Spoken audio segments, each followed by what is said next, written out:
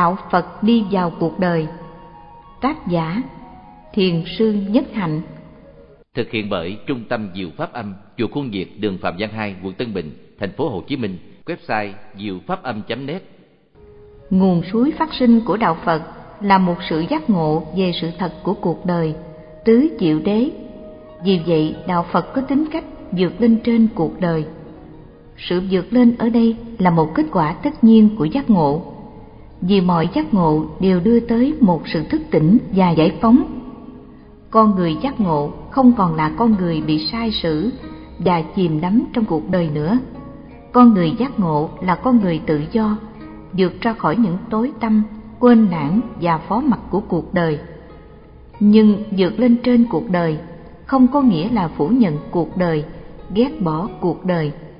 Nếu chỉ có một sự ghét bỏ, xa lánh, trốn chạy thì chưa có thể gọi là vượt lên. Đó chỉ là một sự chán nản hoặc khiếp sợ. Vượt lên ở đây bao hàm một ý chí khỏe mạnh, một ý thức giải thoát, một thái độ kinh thường khổ đau. Và được trang bị đầy đủ những bản lĩnh ấy rồi, con người giác ngộ đi vào cuộc đời với tất cả can đảm và thiện chí để chuyển hóa cuộc đời. Những con người giác ngộ đi vào cuộc đời bao giờ cũng đem theo tâm niệm giải thoát không tham đắm, không cố chấp. Có như thế, ta mới thấy được tính chất của sự vượt lên trong thái độ dấn thân vào cuộc đời của những con người giác ngộ. Tính chất vô trước của hành động là một bằng chứng cụ thể chứng minh cho sự hiện hữu của giác ngộ. Vô trước có nghĩa là không bị dính vào. Cố nhiên, con người giác ngộ sẽ không những không bị dính vào tham vọng, quyền hành và lợi danh mà còn không bị dính vào những cố chấp, có tính cách tri thức, như quan điểm và sự phân biệt nhân ngã nữa. Đó là thái độ tự do, vô tâm, vô trú của các bậc bồ tát mà kinh kim cương bát nhã đã diễn tả trong rất nhiều đoạn. Bàn luận đến đề tài đem đạo phật đi vào cuộc đời, chúng ta phải ý thức được những điểm trên của giáo lý, tức là các nguyên lý vượt lên nhấn thân và vô trước thì mới có thể tránh khỏi được những sai lạc căn bản. Ngay cái mệnh đề đạo phật đi vào cuộc đời cũng đã không được ổn thỏa. Bởi vì phân tích nó, ta sẽ có cảm tưởng đạo phật là một cái gì đang ở bên ngoài cuộc đời. Và vì vậy, cần phải đem nó đi vào trong cuộc đời. Sự thật thì không phải như vậy. Đạo phật đã được phát sinh từ trong lòng của cuộc đời, đã được nuôi dưỡng bởi cuộc đời và đang tồn tại vì cuộc đời nếu đạo phật đã có mặt trong cuộc đời rồi, vậy thì cần phải đem nó đi vào cuộc đời làm gì nữa? Tuy nhiên, nếu ta quan niệm đạo phật như những nguyên lý của sự giác ngộ cần được thể hiện trong cuộc đời, thì ta sẽ thấy rằng có những lúc vì khả năng thể hiện thiếu kém, ta đã không đích thực làm hiển lộ được đạo phật trong cuộc đời, trong sự sống. Và như thế thực chất của đạo phật vắng mặt mà chỉ có một số những hình thái khô chết của đạo phật là hiện hữu. Nếu không có thực chất, thì những hình thái kia, như kinh điển, giáo đường, nghi lễ, đều là những hình thái khô chết. Chính đức phật và các vị tổ sư thiền tông đã nhắc nhiều đến điều đó.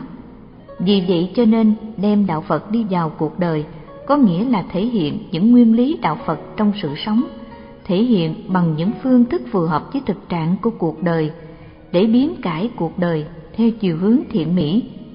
Chừng nào sinh lực của đạo phật được trông thấy giàu dạt trong mọi hình thức của sự sống, chừng đó ta mới có thể nói được rằng đạo phật đang thực sự hiện hữu trong cuộc đời. Sinh lực ấy được nhận thức qua những dấu hiệu sau đây mà chúng tôi xin lần lượt trình bày. Một, sự hiện diện vô hành của đạo đức. Hai, sự hiện diện của ngôn ngữ đạo đức.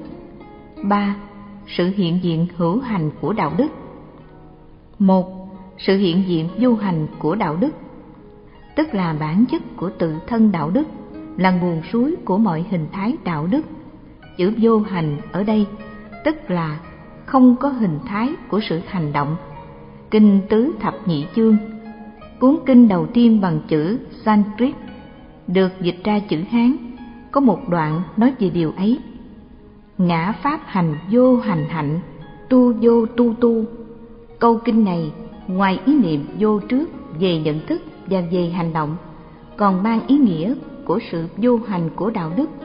Sự hiện diện của đạo đức vô hành là một dòng suối an lạc và mầu nhiệm tuôn chảy vào con người và vào sự sống.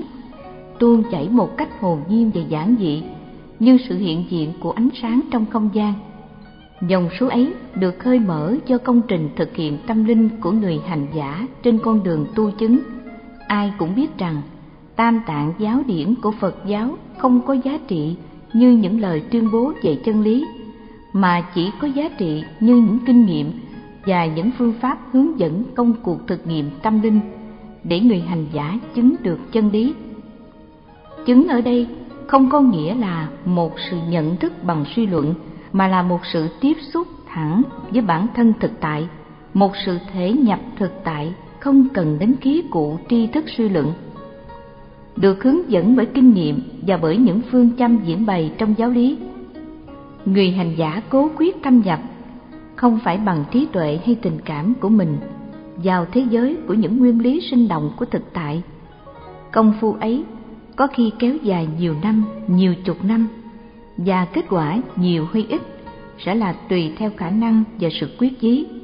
Một khi tiếp xúc thẳng được với bản thân của thực tại, có khi gọi là chân như, có khi gọi là thực tính, có khi gọi là như lai tạng tính, thì tự nhiên có một sự chuyển đổi đột ngột nơi con người của kẻ hành giả.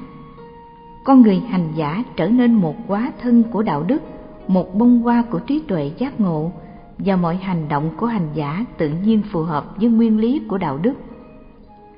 Lúc ấy, ở nơi con người đạt đạo, không có gì mà không phải là đạo.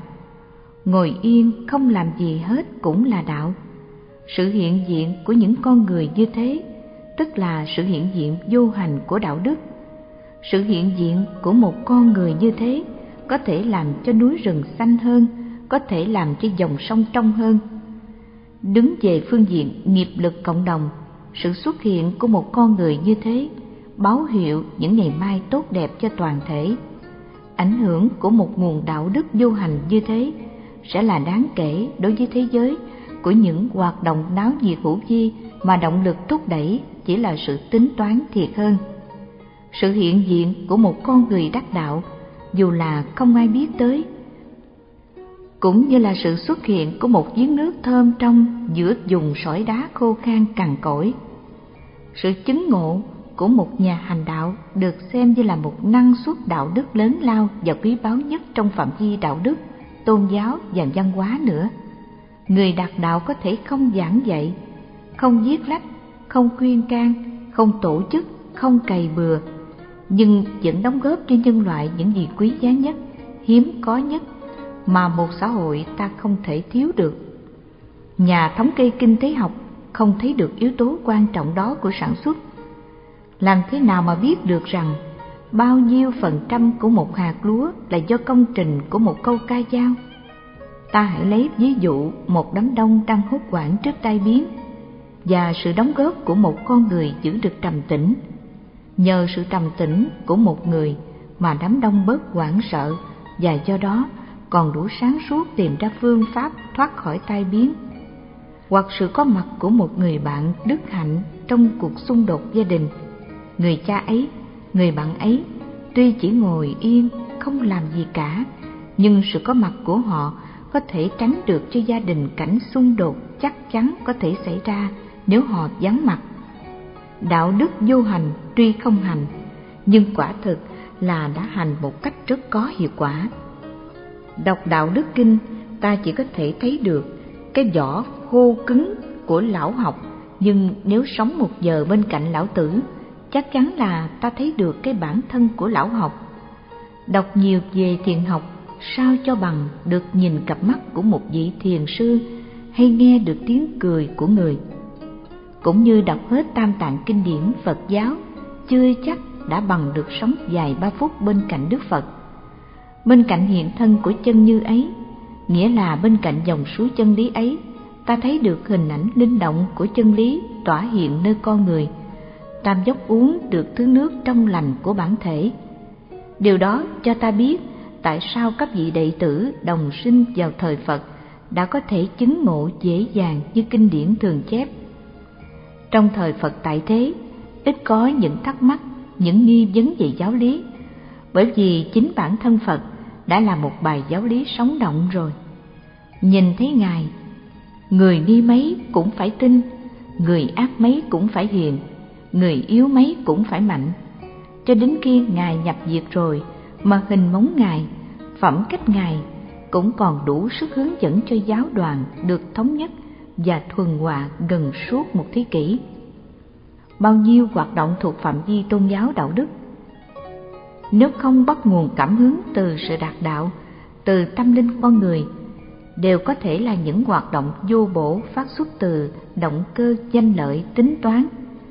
Thiếu chất liệu đạo đức trong cơ thể, con người không thể hành chính đạo mà chỉ có thể hành tà đạo. Cho nên nhân loại phải thắp hương nơi nào có một bậc chân tu xuất hiện. Cố nhiên, bậc chân tu không mọc nhiều như nắm sau cơn mưa, bậc chân tu không phải như những dấu tích linh ứng mọi người nghe tiếng tìm tới dân hương. Bậc chân tu không phải là người có vài thủ thuật mới lạ như tiên tri. Chữa bệnh có thể thâu hút được nhiều người ham mộ. Bậc chân tu là sự hiện diện trước hết của đạo đức du hành. Nhìn vào người, thiên hạ thấy lòng mình thêm tin tưởng, thêm trầm tĩnh, thêm ý thức, thêm thương yêu cuộc đời và xây dựng cho cuộc đời một cách chân thành. Bậc chân tu là một nguồn cảm hứng vô tận cho mọi hoạt động đạo đức và tôn giáo chân chính. Thắp hương nơi nào có bậc chân tu xuất hiện có nghĩa là nhận thức được giá trị cao cả của sự chứng ngộ, của đạo đức chân thực. Người chân tu có thể chưa là bậc thánh, nhưng nhất định không còn là kẻ phàm. Kẻ phàm là kẻ hành sự trên động cơ danh lợi và tà kiến chứ không hẳn là kẻ nói dối, uống rượu và ăn thịt. Người chân tu hiếm có nhưng không phải không thể nhận thức được. Ngồi với một người nào mà ta thấy tâm hồn thanh tịnh, an lạc, tin tưởng, ta thấy khởi động trong lòng ta ý hướng trong sạch, hướng về phụng sự, thì ta biết ít nhiều người ấy cũng đã là bậc chân tu. Người chân tu giản dị như ánh sáng, như khí trời, cho muôn loài sự sống mà không ai hay biết. Người chân tu như bạch nước thấm trong lòng đất, trẻ con hái hoa tím, hoa vàng trên thảm cỏ mà không biết đồng cỏ và bông hoa là tặng phẩm của dòng nước trong. Sự hiện diện của những bậc chân tu mang lại nhiều an lạc cho cuộc đời. Nhưng chính niềm tin mới thực sự là phẩm vật quý giá nhất của người chân tu hiến tặng. Sự hiện diện của người chân tu chứng minh sự hiện diện của đạo đức chân thực, chứng minh khả năng của con người, chứng minh tính cách khả hành của giáo lý Đức Phật, hoặc nói cho rộng là giáo lý của các bậc hiền nhân. Chúng ta không thể sản xuất ra các bậc chân tu, chúng ta chỉ tạo nên những điều kiện cho các bậc chân tu xuất hiện. Vì vậy, chúng ta có những tăng diện, nhất là những diện thiền học để làm nơi sinh hoạt thực tập cho con người muốn quyết tâm đạt đến sự chứng ngộ bằng phương pháp thiền quán.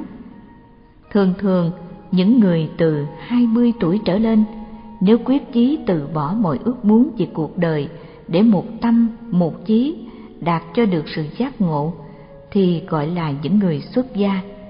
Ai cũng biết rằng đạo Phật xác nhận khả năng tính giác ngộ của tất cả mọi người và vì vậy theo nguyên tắc ai cũng có thể xuất gia được. Tuy nhiên, trên bình diện thực tế, người xuất gia phải có đủ một cách tương đối những điều kiện sức khỏe, trí tuệ và ý chí.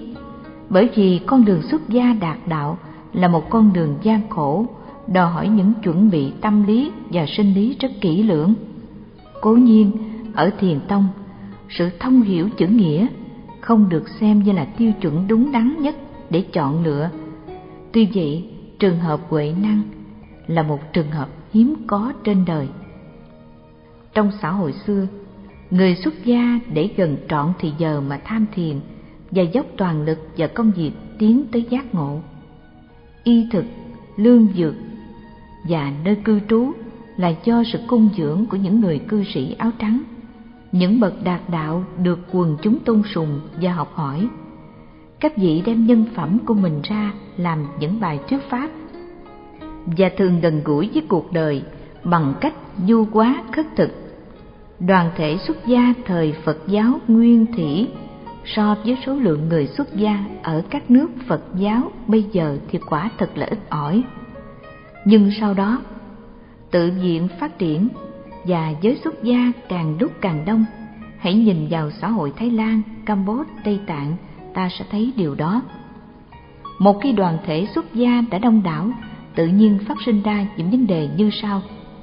Một, phải xây cất thêm nhiều tự viện và phải tổ chức lại giới bạch y để có thể cung cấp đầy đủ các nhu yếu lương thực, cư trú, thuốc men và y phục cho tăng giới. Giới phật tử cư sĩ trở nên quan trọng và các tự viện bắt đầu phải chiều chuộng những sở thích của người cư sĩ trong các kinh điển như kinh duy ma, kinh thắng mang, vân vân. Người cư sĩ không còn được coi như chỉ là những thí chủ cung dưỡng chư tăng để tạo phước đức nữa, mà là những người có thể hành bồ tát hạnh và đạt tới địa vị khá siêu phàm về tâm linh. Giới bồ tát cho cư sĩ cũng phải chiếu điều đó, mà ta phải công nhận vai trò ủng hộ đắc lực của người cư sĩ trong công cuộc phát triển cơ sở giáo hội người cư sĩ bây giờ không còn xa cách quá với người xuất gia về phương diện uy tín đạo đức. Do vai trò đóng góp của họ trong sự tạo dựng tự viện, ủng hộ hoàng pháp, cung dưỡng tăng ni, ý kiến và sở thích của họ được tôn trọng hơn lên. Điều này còn có thể thấy ngay trong hiện tại, chế độ cúng dường, cung dưỡng vẫn còn đang tồn tại, mà phần lớn các trường hợp là cung dưỡng cá nhân một vị tăng thực ra chữ tăng, sangha, có nghĩa là một đoàn thể, một vị không thể gọi là tăng được. Sự cung dưỡng đúng chính pháp là một sự cung dưỡng vô điều kiện. Nhưng ai cũng biết người cư sĩ bây giờ ít biết thế nào là cung dưỡng đúng chính pháp. Họ cung dưỡng vì cảm tình riêng với từng vị mà họ mến chuộng.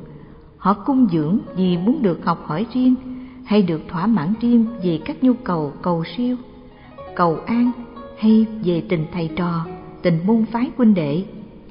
Những bậc chân tu không chịu các điều kiện ấy thì lại hay bị quên lãng và thiếu điều kiện để tiến tu. Sức khỏe thiếu kém, họ có thể bỏ cuộc nửa chừng. Còn những vị chiều theo sở thích của người áo trắng thì lại không có tự do và thì giờ để thực hiện chí nguyện buổi ban đầu. 2. Đã đông đảo thì cố nhiên khó giữ được tinh túy. Thế rồi xuất hiện những vị hình đồng xuất gia mà tâm niệm chưa xuất gia, cùng với nhu cầu tín ngưỡng, chứ không phải nhu cầu đạo đức, càng ngày càng tăng của quần chúng, nhu cầu cầu an, cầu siêu, đám ma, đám chay, vân vân một số lớn những người xuất gia trở nên những nhà chuyên môn về tụng niệm, cầu nguyện. Những vị này cần thiết cho quần chúng thực nhưng họ đã bỏ mất ý nguyện ban đầu. Sơ tâm xuất gia là quyết đạt được giác ngộ. Thêm vào những nhu yếu tín ngưỡng thuần túy, còn có những nhu yếu mới thuộc phạm vi tổ chức giáo hội mà xã hội bây giờ đòi hỏi. Người xuất gia phải đem hết thì giờ làm các công việc từ giảng diễn, tổ chức, hội họp, dạy dỗ, chăm sóc bệnh xá, vân dân, cho đến các công việc rất mới như làm tuyên quý trong quân đội chẳng hạn. Vì thế, mục đích đạt đạo của người xuất gia hầu như là không còn nữa và đó là một vấn đề lớn lao cho Phật giáo. Cố nhiên, sự hiện diện của người tăng sĩ trong mọi cơ cấu xã hội là một sự cần thiết, không ai không công nhận. Nhưng nếu thiếu mất nguồn cảm hứng của đạo đức vô hành, thể hiện nơi người đạt đạo, thì có thể có sự cạn khô của thực chất đạo pháp nơi chính những hoạt động được gọi là hoạt động cho đạo pháp ấy. Xã hội ngày nay bắt buộc phải có mặt của người phật tử trong các cơ cấu tổ chức của nó. Nếu phật giáo muốn không bị đứng ngoài nhưng đứng trong không những chỉ là đứng trong với hình thức suông, mà phải là với một hình thức chứa đựng nội dung nữa. Vì vậy, vấn đề đặt ra cho chúng ta phải là kêu gọi tất cả các vị xuất gia trở về tu viện lo chuyện công phu thiền quán, mà làm sao gây dựng lại những cơ sở thật đứng đắn, thật vững chãi cho số những người nguyện chuyên tu đạt đạo số người này sẽ ít ỏi, nhưng hết sức quý giá, bởi vì mỗi khi có một vị tìm tới được nguồn suối đạt đạo, thì tất nhiên cả chúng ta, tất cả dân tộc và nhân loại ta đều được thừa hưởng. Năm bảy vị như thế đủ để cho chúng ta sung sướng rồi. Mà có được hàng mấy mươi vị thì đó quả thực là hồng phúc cho dân tộc những bậc hiện đang hoạt động cho phật giáo trong các cơ cấu xã hội sẽ như những cành lá tốt tươi, bắt đúc từ những bậc đạt đạo đó, hoặc là những bậc đang cương quyết chí tâm tiến bước trên con đường đạt đạo đó.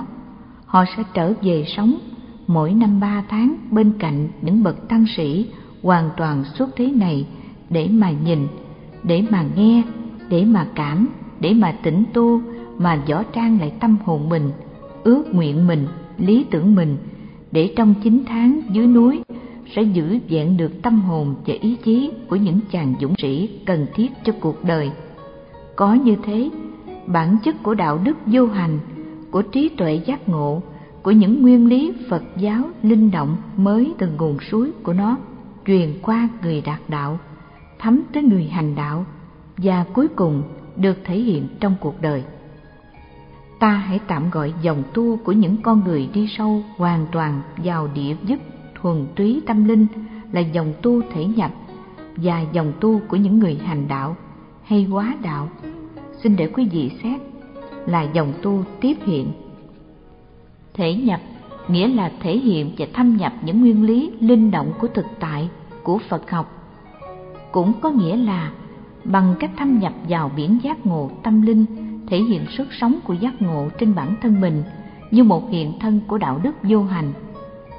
Xin nói thêm rằng, đạo đức đây phải được hiểu như một sự phát hiện của nghệ thuật sống mà không phải là những hành động được quy định như luân lý hay công dân giáo dục. Mọi cử chỉ ngôn ngữ của người đạt đạo đều tự nhiên là đạo đức, không ý thức, không cố gắng mệt nhọc, cũng giống như trạng thái tùng tâm sở dục nhi bất du cũ của khổng khưu khi ngài đến tuổi sáu mươi. Thành ra đạo đức là sự sống sự sống là nghệ thuật. Và vì vậy, đạo đức là nghệ thuật. Một nghệ sĩ đạt đến nguồn của nghệ thuật rồi thì nói ra là thơ dạch ra là họa người hành đạo đạt đến nguồn rồi thì ăn uống, nói cười, tất cả là đạo. Kẻ phàm phu bắt chước ăn như thế uống như thế, nói như thế, cười như thế, cũng không thành người đạt đạo được. Có khi trái với đạo là khác. Cho nên đạo phật không phải là một bó luân lý và giáo điều cứng cỏi. Còn chữ tiếp hiện có nghĩa là tiếp nhận và thực hiện. Tiếp nhận nguồn sinh lực đạo pháp do những nhà tu thể nhập hơi mở và đem nó thực hiện trong cuộc đời. Thành thử giữa các nhà tu thể nhập quần chúng trong cuộc đời. Nhà tu tiếp hiện đóng trách nhiệm của một ngang nói, một trách đuôi nhân. Và số người này phải khá đông để có thể cung cấp cho nhu cầu tôn giáo và đạo đức càng ngày càng tăng của xã hội mới. Những nhà tu trong dòng này sẽ đem ý chí năng lực và tâm hồn của mình để thực hiện một ít nguyên chất của đạo phật trong cuộc đời và kho tàng của họ là những bậc trong dòng tu thể nhập mà họ được gần gũi và học tập ba tháng mỗi năm. Và khi họ đã chắc chắn rằng thời gian phụng sự của họ đã tạm đủ và muốn cố quyết thực nghiệm sâu sắc chân lý, họ sẽ phát nguyện trở về tu viện, vĩnh viễn để mà hạ thủ công phu cho lý tưởng đạt đạo. Cố nhiên, vì đã dứt khoát chính chắn và đã am hiểu về cuộc đời, về giá trị của sự chứng ngộ nên họ sẽ trở nên nhất tâm nhất trí trên con đường đạt đạo. Và do đó dễ đạt được kết quả mau chóng và tốt đẹp. Để đạt đến một kết quả như thế giáo hội sẽ phải tổ chức trang bị hoặc tu chỉnh năm bảy tu viện hết sức trang nghiêm trong toàn quốc để làm cơ sở cho những nhà tu dòng thể nhập. Những vấn đề cư trú lương thực y phục thuốc men, thư viện, vân vân phải được bảo đảm để cho các nhà tu khỏi phải bận tâm. Chấm dứt vấn đề cúng dường cá nhân trong các tu viện, chấm dứt sự lễ bái du ngoạn thính pháp của người bạch y tại tu viện. Không khí tu viện sẽ trang nghiêm và tự do. Tự do ở đây có nghĩa là không bị uốn nắn theo sở thích và đòi hỏi của bất cứ người cư sĩ bạch y nào hoặc tổ chức tài chính hay xã hội nào.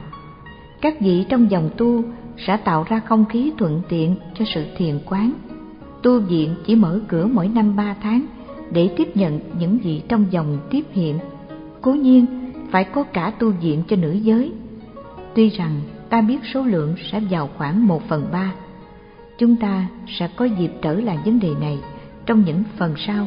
Hiện giờ, ta cần đi sang phần thứ hai, tức là sự hiện hữu của ngôn ngữ đạo đức.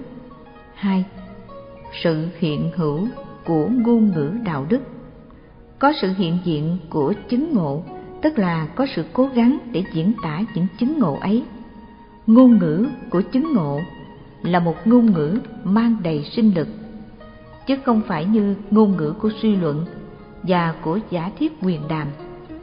Ngôn ngữ là phương tiện dùng để cảm thông và vì vậy cần phải thích hợp với người nghe và người nói ta hãy hiểu chữ ngôn ngữ ở đây theo nghĩa những phương thức diễn đạt những lề lối diễn đạt. Ngôn ngữ thiền tông chẳng hạn, thật là đặc biệt. Có khi là một cái vẫy tay, có khi là một cuộc đối thoại mà người ngoài cuộc không hiểu ất giáp gì cả. Có khi là một bài kệ hay một câu chuyện đi thẳng vào lòng người không cần qua trung gian phân tích, suy luận. Ngôn ngữ giác ngộ luôn luôn là ngôn ngữ cho một thời đại nào, cho một lớp người nào chứ không phải là ngôn ngữ cho muôn thời và muôn xứ. Ngôn ngữ giác ngộ là một phương tiện diễn đạt và hướng dẫn sự thực hiện giác ngộ và sự áp dụng giác ngộ đó trong cuộc đời. Và bởi vì con người của mỗi thời đại một khác, mỗi xã hội một khác, nên ngôn ngữ giác ngộ phải thích hợp với thời gian, phương sở trí tuệ và tâm lý con người. Trước hết ta phân biệt những nguyên lý phật giáo linh động và giàu có mà người đạt đạo có thể xúc tiếp thẳng tới được. Và những phương tiện diễn đạt các nguyên lý ấy cho hợp thời hợp cảnh. Những phương tiện mà ta gọi là pháp môn, cửa đi vào chân lý, hay là những hệ thống giáo lý thích hợp với từng thời đại, từng phương sở, các nguyên lý ấy theo thiền tông, không có thể diễn tả trực tiếp được mà chỉ có thể tự mình thực nghiệm thân chứng ngôn ngữ chỉ có giá trị hết sức tương đối và chỉ có thể làm những đồ án chỉ dẫn cho sự thực nghiệm mà thôi thế cho nên qua lịch sử 2.500 năm Phật học đã có biết bao nhiêu hình thái ngôn ngữ, bao nhiêu hệ thống giáo lý để cố gắng diễn tả sự chứng ngộ trong cuộc đời. Bao nhiêu tông phái đã thành lập, các vị thiền sư ngộ đạo, nếu không viết sách thì cũng để lại những bài thơ, bài kệ hay các mẫu đối thoại còn được ghi trong các cuốn ngữ lục. Ngày nay xã hội đã biến đổi một cách căn bản. Những phương thức diễn đạt cũ, những hệ thống giáo lý cũ có thể không còn thích hợp hoặc có thể không gây nổi sự cảm thông với con người mới trong xã hội mới. Cho nên, ngôn ngữ Phật học phải hợp với thời cơ, pháp môn của thời đại phải đáp ứng được với nhu cầu của thời đại. Mà pháp môn ấy, giáo lý ấy không thể do sự suy tư trong tháp ngà mà sản xuất ra. Đó phải do sự chứng ngộ đích thực tuôn trào ra, phải được đặt trên nền tảng khế lý và khế cơ khế lý là không trái chống với những nguyên lý Phật học, nói một cách khác hơn là bắt nguồn từ sự giác ngộ. Khế cơ nghĩa là phù hợp với khát vọng nhu cầu và lề lối nhận thức của con người mới, của xã hội mới.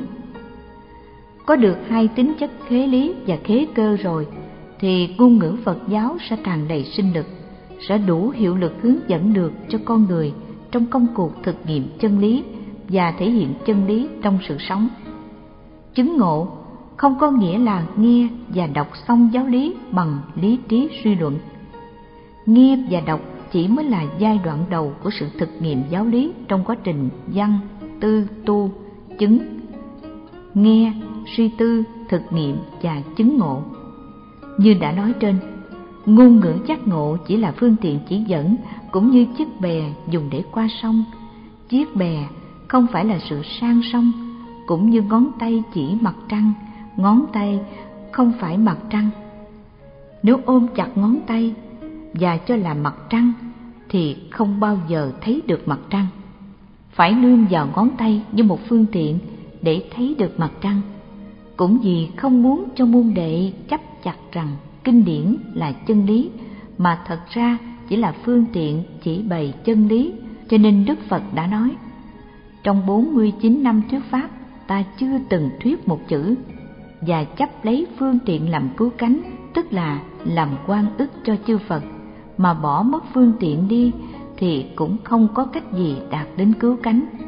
Những người không thực tập, không tham thiền, không đem thân mệnh mình đi vào thế giới thực nghiệm tâm linh thì sẽ không có chứng ngộ. Dù chứng ngộ ít đi nữa, và do đó không có gì để diễn tả cả. Dù có diễn tả thì cũng diễn tả một mớ suy tư về quyền học, một mớ tưởng tượng về chân lý hoặc lặp lại những điều ngày xưa các bậc tiền bối đã nói.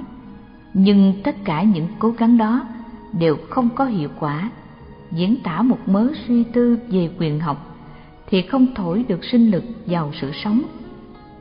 Và ngôn ngữ, dù mang danh là ngôn ngữ đạo phật, sẽ không chứa đựng sinh khí của sự đạt đạo, của sự phát minh. Ngôn ngữ ấy không hướng dẫn được thực nghiệm, không lây chuyển được con người không đủ sức tạo nên lực lượng cải tạo nếp sống cá nhân, hướng dẫn sự sống xã hội. Còn lặp lại những điều cổ nhân nói thì chỉ là làm công việc của một chiếc máy hát hay một con vẹt ngôn ngữ đó sẽ không thích hợp, không đi được vào lòng người, không phù hợp với những nhu cầu mới, băn khoăn mới, thắc mắc mới của con người. Và cũng do đó, sự vắng mặt của ngôn ngữ đạo đức, đích thực chứng tỏ sự vắng mặt của đạo đức đích thực. Nói một cách khác hơn, chứng tỏ sự vắng mặt của những kẻ đạt đạo. Nếu có sự hiện diện của những kẻ đạt đạo, thì tự nhiên có tiếng nói của đạo phật. Bởi vì kẻ đạt đạo không thể thờ ơ với cuộc sống, dù làm với cuộc sống đầy dẫy những vấn đề khó khăn hiện tại. Có sự hiện diện của kẻ đạt đạo, tức là sớm muộn gì cũng có tiếng nói của họ và tiếng nói ấy là một pháp môn, một giáo lý, một ranapti cho thời đại. Tam vẫn còn tin tưởng rằng dòng giống của người đạt đạo chưa tuyệt diệt. Ta phải sửa soạn tâm hồn cho thanh tịnh để có thể nghe tiếng nói của ngôn ngữ giác ngộ. Lắm lúc đơn giản, gián tắt, nhưng là cứu tinh của thế hệ chúng ta. Nếu pháp môn của thời đại phải khế lý và khế cơ thì pháp môn ấy phải do người của thời đại khai thị. Khai thị nghĩa là mở bày chỉ dẫn, mà người của thời đại có công phu thực nghiệm tâm linh, có nhận thức thâm thiết về trạng huống và những vấn đề cấp thiết của cuộc đời, thì chỉ có những vị trong hai dòng tu thể nhập và tiếp hiện. Một bên thì tràn đầy giác ngộ, lý, một bên thì thông hiểu căn cơ cơ công trình của một ngôn ngữ đạo đức của thời đại như thế phải là một công trình của cả hai bên cùng chung một thao thức là đem đạo Phật đi vào cuộc đời. Ngày xưa, những vấn đề xã hội và con người đơn giản hơn bây giờ nhiều. Ngày xưa, chỉ có nhu yếu về sự hiện diện của một số người đạt đạo và dạy dỗ luân lý đạo đức cho quần chúng. Ngày nay, sự dạy dỗ thuyết pháp thiếu hẳn hiệu lực, tâm lý con người vô cùng phức tạp, trí tuệ con người vô cùng thắc mắc, sự sống con người vô cùng đau ốm. Xã hội con người trình bày nhiều vấn đề vô cùng rắc rối. Pháp môn không còn có thể chỉ là những pháp môn chỉ dẫn cho cá nhân tu tập và dạy dỗ cho người bạch y, biết pháp thức cúng dường, giữ tam quy ngũ giới pháp môn phải là một pháp môn đáp ứng lại được những nhu cầu giáo dục văn hóa, kinh tế, xã hội, chính trị, vân vân. Và vì đạo Phật phải có mặt trong mọi cơ cấu xã hội, người Phật tử phải có lý thuyết, pháp môn của thời đại về giáo dục, văn hóa, kinh tế, xã hội, chính trị, vân vân. Không có lý thuyết ấy, không có pháp môn ấy, nói tóm lại, không có ngôn ngữ chính thức của đạo đức thời đại thì người Phật tử biết nương vào đâu, nương vào đường lối nào, vào sự hướng dẫn nào mà thể hiện Phật Pháp vào cuộc đời. Không tiếp thì làm sao có thể hiện? Cho nên, muốn đạo Phật có mặt trong cuộc đời thì phải có ngôn ngữ mới, pháp môn mới. Trí tuệ đạt đạo phải quán chiếu vào tình trạng tâm lý, sinh lý và xã hội của con người mới trên con đường thực nghiệm thiền quán để chứng ngộ. Trí tuệ đạt đạo phải phối hợp với kiến thức chuyên môn về giáo dục và về hiện tình giáo dục để cấu tạo nên pháp môn hướng dẫn nền giáo dục mới. Trí tuệ đạt đạo phải phối hợp với kiến thức chuyên môn về văn hóa và về hiện tình văn hóa để có thể cấu tạo nên một pháp môn hướng dẫn nền văn hóa mới. Trong các địa vực kinh tế, xã hội, chính trị, nông thôn, vân dân cũng phải có những hoạt động tương tự. Nói tóm lại, căn cứ trên những nguyên lý Phật giáo, nói đúng hơn, trên sự chứng đạt những nguyên lý Phật giáo. Người Phật tử phải xây dựng những lý thuyết về giáo dục, văn hóa, kinh tế, xã hội, chính trị, vân dân, Để ngôn ngữ của đạo Phật được có mặt trong cuộc đời, làm điều kiện cho sự có mặt của mọi hoạt động đạo pháp trong mọi cơ sở của cuộc đời. Chừng nào chưa có những lý thuyết cho thời gian và phương sở hiện tại về các vấn đề ấy, chừng đó đạo Phật vẫn chưa hoàn toàn có mặt. Cũng nên nhắc lại rằng các lý thuyết đó, các pháp môn đó không phải chỉ là những xây dựng căn cơ trên suy luận suông, phải có nền tảng trên sự thực chứng, tức là phải khế lý và cũng không được lý tưởng quá để xa lìa sự thật, tức là phải khế cơ. Cố nhiên, pháp môn sẽ là pháp môn của thời đại, của phương sở mà không phải là của muôn thời và muôn xứ. Thực tế bà nói, ta chưa thấy giáo hội Phật giáo sắp đặt sự gặp gỡ giữa các bậc cao tăng chân tu với các nhà giáo dục chuyên môn của xứ sở. Như vậy là ta chưa có pháp môn về đường lối và kế hoạch giáo dục. Về văn hóa và về chính trị thì còn khả cứ. Còn về kinh tế xã hội thì quá thực chưa có gì. Chưa có một đường lối, một kế hoạch kinh tế và xã hội nào cả. Bao giờ đạo Phật có thể tham dự vào việc hướng dẫn phong trào của sự phân phối hợp lý và công bình lợi tức sản xuất có thể gây niềm tin cho quần chúng về một đường hướng kinh tế nhân bản, đạo đức thiết lập trên quan điểm tứ diệu đế. Bao giờ hoạt động xã hội mới vượt được cái phạm vi nhỏ bé và mệt nhọc của công tác từ thiện, nhỏ giọt từng giọt trên cái thiếu thốn khát khao vô biên của những kẻ đau khổ để hướng dẫn một phong trào cách mạng xã hội căn cứ trên tình thương và trên nguyên lý bất bạo động. Giáo hội cần phải cố gắng nhiều hơn nữa và phật tử cần phải ý thức nhiều hơn nữa. Như trên đã nói pháp môn bao giờ cũng được thích hợp với thời đại và phương sở để có thể được gọi là một pháp môn. Căn cứ trên nguyên lý đạt đạo, có thể thiết lập tám dạng bốn ngàn pháp môn, nghĩa là rất nhiều pháp môn. Tất cả các pháp môn ấy trong thời gian và không gian mang màu sắc dị biệt. Nhưng trên phương diện bản chất vẫn được căn cứ trên cùng những nguyên lý cùng phát xuất từ một nguồn suối đạt đạo nhiệm màu. Bởi vậy, sự khác biệt và có khi trái chống giữa các pháp môn với nhau chỉ là sự dĩ nhiên, không có gì đáng để ta ngạc nhiên cả. Thời đại mới, địa phương mới, điều kiện xã hội mới bắt buộc phải có những pháp môn mới. Luân lý và tập tục cổ truyền nói một cách khác hơn. Những pháp môn đã được ứng dụng trong quá khứ không thể là một sự cản trở một chứng ngại cho sự tinh luyện và xây dựng nên những pháp môn mới ví dụ ngày xưa người tu sĩ không được đi vào nơi quân trung nhưng ngày nay nhu cầu xã hội với tư cách những nhà tuyên quý ví dụ ngày xưa người tu sĩ sinh hoạt trên nền tảng cung dưỡng ngày nay người tu sĩ cần tự túc để thoát khỏi những ràng buộc vô lý của những kẻ bạch y chưa hiểu đạo. Ví dụ, thời đại Long Thọ cần giáo lý không tuệ để phá chấp hữu bộ và thời đại Thế Thân cần giáo lý duy thức để tổng hợp hữu bộ và không bộ. Trong lịch sử giáo lý Phật giáo đã có bao nhiêu sự chuyển mình của đạo Phật để hình thành những hệ thống giáo lý mới mà mỗi lần chuyển mình để hình thành được một hệ thống khế lý, khế cơ như thế, sinh lực của đạo Phật lại được thổi vào từng luồng mạnh mẽ. Nhờ đó mà đạo Phật phát triển mạnh mẽ, không cần đến kế hoạch truyền giáo. Và cũng cho đó mà đạo Phật được xem như là một nền văn hóa tư tưởng hoàn toàn tự do, chứ không phải là một hệ thống những giáo điều cứng cỏi. Những giáo lý căn bản của đạo Phật phải được nhận thức như những nguyên tắc hành động chứ không phải những giáo điều. Ví dụ, giáo lý tứ diệu đế và bát chánh đạo. Trong giáo lý tứ diệu đế ta thấy Đức Phật đặt nguyên tắc và chỉ bày phương pháp để giải quyết bất cứ mọi vấn đề nào. Trước hết là sự trình bày trạng huống thực tại với những vấn đề mà con người phải xác nhận sự hiện hữu để mà giải quyết những đau thương, khó khăn và thắc mắc của con người cần được trình bày minh bạch và chính xác trong phần đệ nhất đế ấy.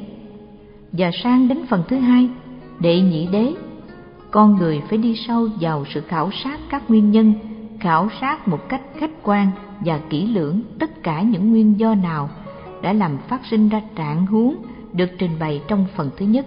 Phần thứ ba, đệ tam đế, là sự xác định rằng nếu có những nguyên do trình bày trong phần thứ hai thì chắc chắn là sự cải biến trạng huống trình bày tiêu diệt những nguyên do trình bày trong phần thứ hai ấy và trong phần thứ tư để tứ đế.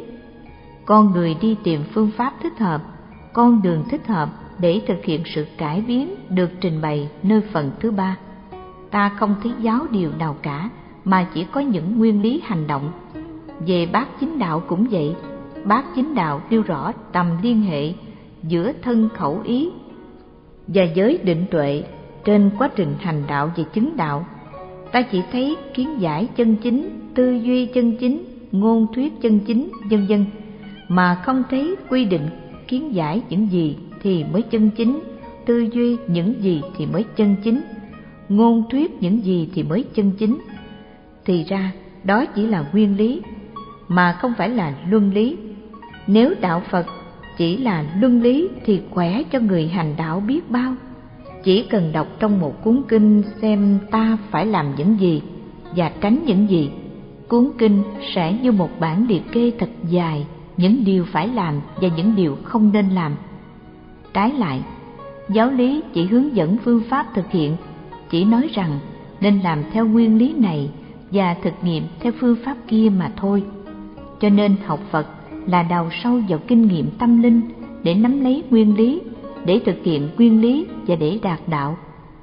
Đạt đạo rồi thì không cần một bộ luật nào cả, không cần một sách chỉ nam nào cả, không cần một nền luân lý nào cả. Người đạt đạo ăn ngủ là đạo, thuyết pháp là đạo, ăn rau cũng là đạo, mà ăn thịt cá cũng là đạo nữa. Những người chưa đạt đạo thì không thể bắt chước họ được cho nên ta thấy rất rõ tầm quan trọng của sự thực chứng. Có sự thực chứng thì tất nhiên có sự lưu nhuận của sinh lực đạo đức. Còn nếu chỉ có sự truyền bá và ca tụng về những giáo lý mà thôi, thì xã hội và con người vẫn không được thay đổi. Ngôn ngữ và ý tưởng đạo đức của một thời đại không có thực chứng chỉ là ngôn ngữ và ý tưởng dây mượn ở một thời đại khác đó chỉ là cặn bã của thực chứng, mà không phải là thực chứng. Đó là những lời chế, những ý chết, không đủ sức và không thể làm khơi dậy trong tâm tư con người thời đại một nguồn cảm hứng mới, một sinh khí mới. Lịch sử, văn hóa cho biết rằng, bất cứ nguồn sinh lực tinh thần nào của nhân loại cũng bị tàn hoại bằng cách trở nên những di sản hình thức khô cứng những ý chết và những lời chết không còn có tác dụng tâm lý và xã hội nữa. Muốn duy trì nguồn sinh lực ấy, con người không thể chỉ duy trì ngôn ngữ của nói phải giữ cho nguồn sinh lực kia được thể hiện liên tục nơi tâm linh con người để đừng làm khô chết. Bất cứ cuộc cách mệnh tinh thần nào của nhân loại cũng là một nỗ lực chống lại những ngôn ngữ và tư tưởng khô chết đóng cứng trong óc người như những chiếc vảy cá nguy hại và vô ích. Muốn cho ngôn ngữ và tư tưởng đừng là những vật khô chết thì chỉ có một đường, đừng truyền bá chúng và tiếp nhận chúng như những vật khô chết. Tất cả vấn đề là ở đây, làm thế nào cho dòng thực chứng tâm linh được tiếp nối bất đoạn? Truyền sẽ là truyền tâm, mà không chỉ là truyền ý. Ngôn ngữ một ngày nào đó sẽ phản lại nội dung bởi lý do không còn phù hợp với thực trạng của thời đại. Có một dòng thực chứng tâm linh nối tiếp thì sẽ luôn luôn có những ngôn ngữ, những pháp môn dị biệt được sử dụng để nhắm đến sự thể hiện thực chứng ấy trong cuộc đời. Cho nên, lý thuyết hành động của đạo phật, pháp môn luôn luôn được phát xuất từ nguồn thực chứng và được dựng trên căn bản những điều kiện thực hiện trong hiện tại của xã hội và của con người. Thiếu một trong hai điều kiện ấy thì bất thành. Và cũng vì thế, pháp môn phải luôn luôn biến đổi để có thể đi sát với thực tại. Sự biến đổi đó cố nhiên cũng không có thể phản lại căn bản thực chứng. Sở dĩ tôi phải nhấn mạnh đến điểm này hoài, vì chính đây là điểm căn bản cho mọi nhận định. Cũng vì hai yếu tố quán lý thực chứng và quán cơ. Xuất tiếp với bộ mặt thực của cuộc đời là hai yếu tố căn bản của ngôn ngữ đạo phật. Cho nên chúng ta phải đặt cho hai nguồn nhận thức gặp nhau. Trong thời gian còn học tập ở các phật học viện, người sinh viên phải được học kỹ về những môn họ cần thiết có thể giúp họ nhìn rõ được thực trạng xã hội như giáo dục, văn hóa, kinh tế chẳng hạn.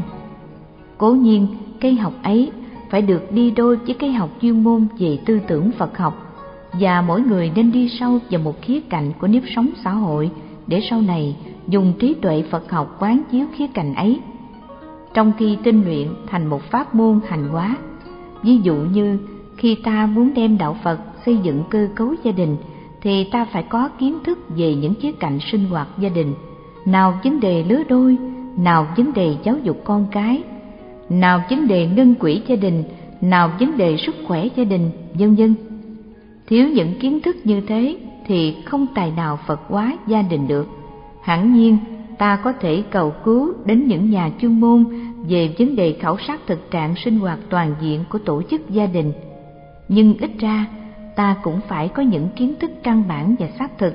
Phật học không phải là một môn học có thể tách rời khỏi những vấn đề của sự sống trái lại ta chỉ có thể hiểu được phật học qua những vấn đề của sự sống phật học không phải là một nền quyền học những phương pháp để áp dụng các nguyên lý Phật học chỉ có thể tìm thấy trong sự khảo sát những vấn đề của sự sống. Cho nên, ta không thể nói rằng đi vào những vấn đề của sự sống là không còn thì giờ để học cái học chuyên môn về Phật học. Có thể là trong một diện Phật học, môn học về những vấn đề của sự sống không đóng vai trò chủ yếu nhưng phải đóng một vai trò khá quan trọng. Với lại, cái học giúp cho ta có nhận thức chính xác về cuộc đời là một cái học thực dụng không làm mất thì giờ như cái học chuyên môn để trở thành bác học nếu người sinh viên phật học cần phải học về kinh tế chẳng hạn thì chỉ những nét quan trọng và thực dụng của kinh tế học mới là cần thiết mà thôi. Những gì có thể giúp cho người sinh viên có một cái nhìn chính xác về thực trạng kinh tế và về những vấn đề kinh tế được đặt ra cho xã hội hiện giờ mới chính là những kiến thức cần thiết. Người sinh viên phật học không còn tìm học những đề tài xa xôi, có tính cách bác học, nhưng thiếu tính cách thực dụng như tư tưởng kinh tế của xã hội, do thái ngày xưa hoặc lịch sử kinh tế bắc phi chẳng hạn cố nhiên những kiến thức như thế rồi cũng có lợi nhưng ai cũng biết chúng không quan trọng lắm đối với người sinh viên Phật học. Về kinh tế đã vậy, thì về giáo dục, văn hóa, vân vân cũng thế. Cho nên, một viện Phật học phải là một cơ sở cung cấp hai nguồn kiến thức căn bản sau đây. Một, kiến thức về Phật học và phương pháp, pháp môn, thể nghiệm chân lý Phật học bằng bản thân, bằng tâm linh. Hai, kiến thức về các vấn đề quan trọng của sự sống và phương pháp, pháp môn, giải quyết những vấn đề ấy bằng các nguyên lý Phật học. Phần thứ nhất, không nên được giảng giải như một triết học khô khan như ở trường đại học khác, mà phải được giảng dạy bằng ngôn ngữ và thái độ của người muốn thao thức trao truyền sinh lực đạt đạo. Cũng vì thế, cũng vì tránh sự khô khan và nguy hại của cái học bằng ngôn ngữ khô chết mà các sinh viên và các nhà tu tiếp hiện phải được gần gũi các nhà tu phái thể nhập trong một mùa an cư ba tháng mỗi năm. Họ cần được thấy, được nghe, được cảm và được thực tập công việc thể nghiệm. Rút từ nhận thức trên, ta thấy các môn học về những vấn đề của sự sống. Những môn học thuộc tâm lý, giáo dục, y tế, kinh tế, văn hóa, vân dân phải được tổ chức và giảng dạy ở các viện Phật học một cách thiết thực khác hẳn với sự giảng dạy chuộng tính cách bác học khô khan ở các trường đại học khác. Điều này đòi hỏi sự giác ngộ và nỗ lực của giới trí thức hiện đại. Một giới biết rất nhiều chuyện nhưng còn cách xa cuộc đời một cách đáng kể. Những sinh viên Phật học không nên ghi tên ở các chứng chỉ văn hóa, kinh tế, xã hội, giáo dục ở các trường bên cạnh bởi vì sẽ phải học nhiều quá những điều không đóng góp thiết thực vào sự nhận thức các vấn đề thực tại của sự sống. Các môn học như thế phải được tổ chức tại các viện Phật học một cách có phương pháp với một tinh thần đích thực cách mạng. Một sinh viên Phật học thực ra không cần biết giải một phương trình bậc tư hay không thuộc những thành ngữ, những điển tích trong truyện Kiều. Người sinh viên Phật học cần dồn năng lực và thì giờ vào những vấn đề trọng yếu và thiết thực nhất của sự sống hiện tại. Kiến giải xác thực về tâm lý và ước vọng người dân nông thôn cũng như người dân thành thị, những nhu cầu của họ, những điều ấy cần phải được liệt kê trong chương trình Phật học và trong số những đề tài tham thiền nữa, chứ không thể được coi như là những môn học phụ của chương trình.